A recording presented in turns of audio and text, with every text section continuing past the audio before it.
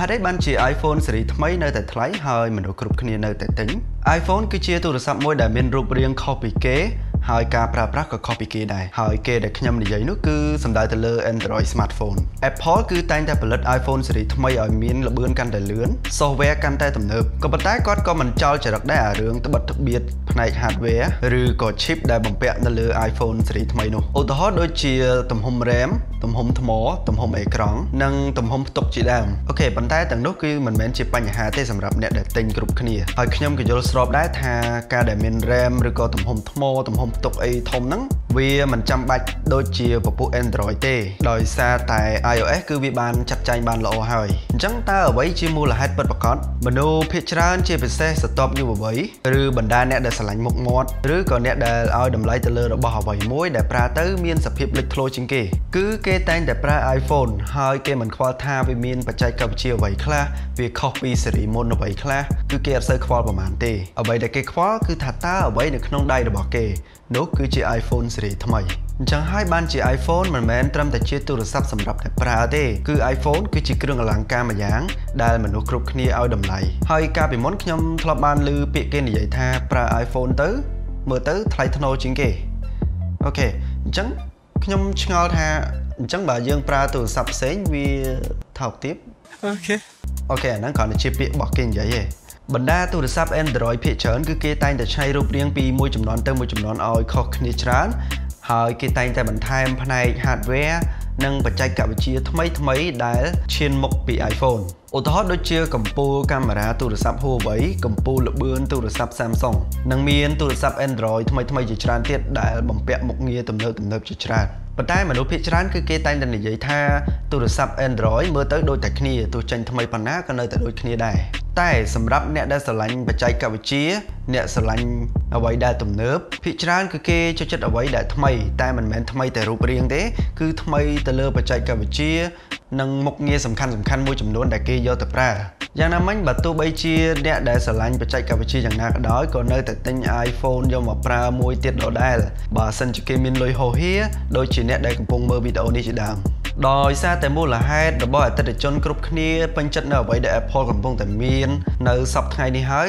ទើបបានជា Apple មិនដែលទម្លាក់តម្លៃទូរស័ព្ទរបស់ខ្លួននៅពេលដែលចេញស៊េរីថ្មីម្ដងណាឡើយក៏ប៉ុន្តែស្របពេលដែលពិភពលោកជួបនឹងវិបត្តិ COVID Apple ក៏ត្រូវគិតឡើងវិញអំពីតម្លៃនៅក្នុងទីផ្សាររបស់ខ្លួនផងដែរ iPhone 12ដែលគេទើបនឹងបញ្ចេញថ្មីថ្មីនេះគឺដូចតែសពដងអញ្ចឹង គឺគេធ្វើការច្នៃរូបរាងខាងក្រៅដែលកេមនៃទូរស័ព្ទ iPhone 12នេះរចនាម៉ូដវិលត្រឡប់ទៅកាន់អតីតកាលវិញគឺដូចទៅនឹង iPhone 4 iPhone 4S និង iPhone 5ដែលចំពោះខ្ញុំខ្ញុំពេញចិត្តមែនទែនរូបរាងហ្នឹងវាមើលទៅហាប់ណែនល្អហើយមើលទៅមានសភាពរឹងមាំហើយក៏វាងាយស្រួលកាន់ជាងរាងដែលមូលដែរហើយ Apple ក៏បន្ថែមផ្នែក hardware ដូចជាដំឡើង 5G នៅលើទូរស័ព្ទ iPhone 12ទាំងអស់មាន sensor កាមេរ៉ាធំជាងមុនដែលអាចថតរូបបានច្បាស់ល្អ និយាយរួមទៅ Apple តែងតែធ្វើឲ្យទូរស័ព្ទរបស់ខ្លួនដែលមានស៊េរីថ្មីនេះមើលទៅខុសពីស៊េរីចាស់មុនដោយវាលឿនជាងមុនហើយមើលទៅល្អជាងមុនតែអ្វីដែលគួរឲ្យចាប់អារម្មណ៍នោះគឺតម្លៃពេលដែល Apple ដំឡើងតម្លៃទូរស័ព្ទរបស់ខ្លួនឡើងដល់តបពពកនោះគឺមានដូចជាស៊េរី model iPhone XS Max iPhone 11 Pro Max គឺតម្លៃវាឡើងរហូតដល់ទៅ1449ដុល្លារតម្លៃនៅស្រុកគេសម្រាប់ model ដែលមាន spec កប់ដល់ឡែក model ដែលមាន spec កប់ចេញស៊េរីថ្មីនេះគឺ iPhone 12 Pro Max គឺមានតម្លៃត្រឹមតែ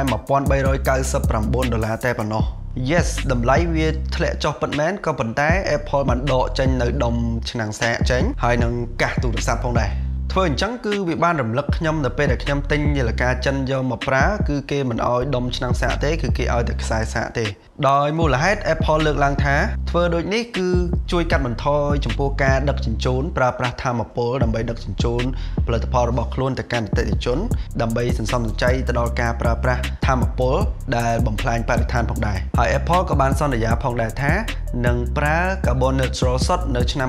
2030ដើម្បីជួយទប់ស្កាត់នៃការបំរែបំរួលអាកាសធាតុអូខេត្រឡប់មកសាច់រឿងយើងវិញគឺនៅក្នុងប្រអប់ iPhone 12គឺយើងទទួលបានទូរស័ព្ទមួយខ្សែសាកជា Lightning ទៅ Type C មួយមកចូលចាក់ SIM និង sticker របស់ Apple មួយអូខេក្រៅពីហ្នឹងគឺអ្នកទាំងអស់គ្នាអត់ទទួលបានអ្វីទៀតទេដោយ Apple យល់ថាឆ្នាំងសាកនិងកាសដែលប្រើត្រូវជាមួយ iPhone ហ្នឹងគឺមានរាប់ពាន់លាននៅលើពិភពលោកយើងហើយរួមមានទាំងកាសនិងឆ្នាំងប្រើខ្សែ